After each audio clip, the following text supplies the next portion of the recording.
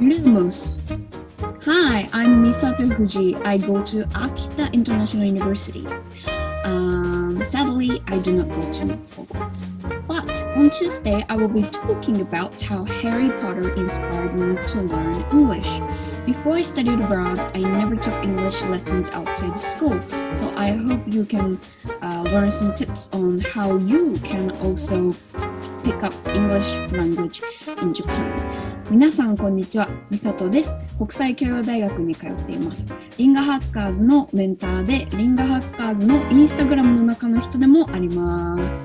火曜日には私の英語学習とハリー・ポッターについてお話しするので、ぜひ皆さんも聞きに来てくださいね。I'm really looking forward to seeing you all on Tuesday. Bye! Nox.